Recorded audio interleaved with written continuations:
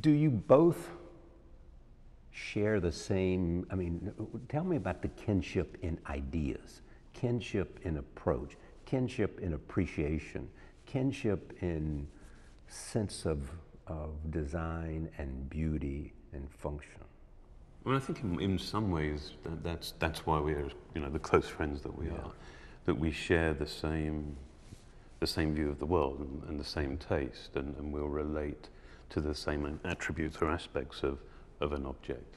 Uh, Most importantly, we really hate the same things. You hate the same things. Okay, so what do we hate? That's Well, I think one- of the things that, that we, I think one of the themes that you see now that wasn't conscious when we started off on this journey, but that nearly all of these objects are tools.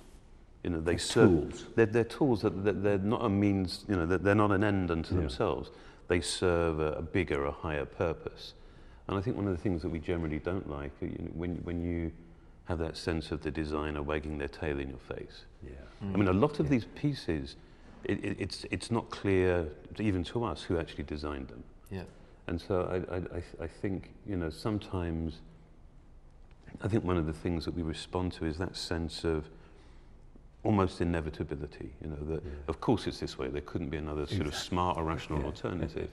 So I think, you know, I, I think Yeah. stuff I mean- that's just arbitrary irritates us. Yeah, I mean the spacesuit, for example, is a, is a, is a wonderful example of, of that type of object. I mean, no one knows who designed that, that piece, but, Yeah. but, but if it didn't work the way it did, the, the results would be simply catastrophic. I Yeah, mean, so it's life and death here. You Design something Yeah. that serves an important function. yeah, as, as is the, you know, the window of the space shuttle that we have. I mean, that's just a, a very, very simple, you know, seemingly simple piece of mm-hmm. glass, but it's a, again, it's a, it's kind of make or break. I mean, it's the ultimate, it's, it's the ultimate manifestation in a way of what we do. Yet it's, it's, it's designed anonymously.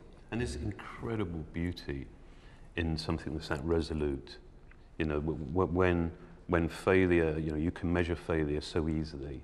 Um, there's, there's, I think, an incredible beauty to that clarity. And so you're asking about our sort of connection. I think that's one of the things, almost at a pre-verbal level, we see and sense and appreciate that immediately. Join us online at charlierose.com.